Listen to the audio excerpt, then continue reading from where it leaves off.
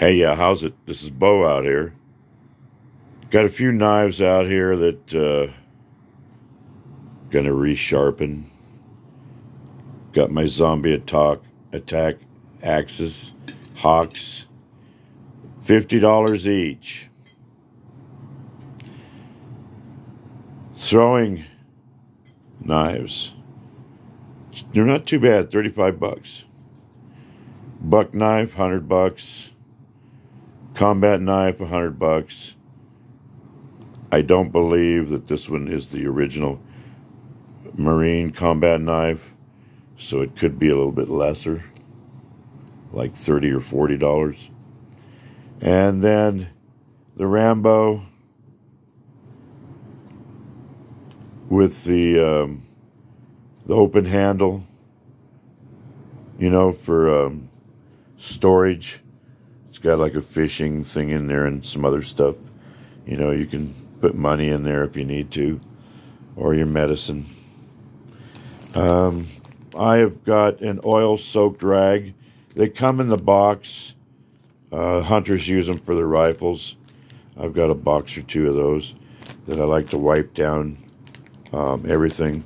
Keeps it from getting rusted. I've had these for many years. I've abused them. I've let other people abuse them. They've never let me down. I got a couple of uh, nicks, but no cracks. The throwing uh, knives, I don't like to keep them too sharp because when you throw them, they're in your hand, you know. Uh, but I do want them to stick. This is a very good sharpener to start out with.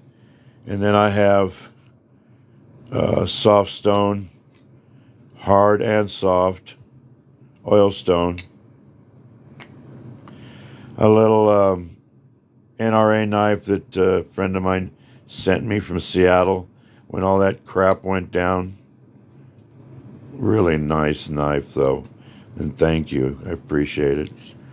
And of course, the original buck knife. It's already sharp as heck.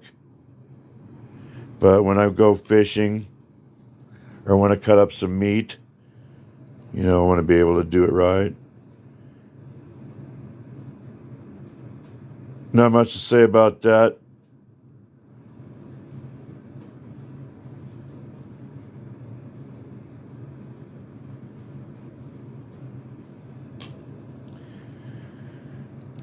This is the sheath for them. This is the sheath for the buck.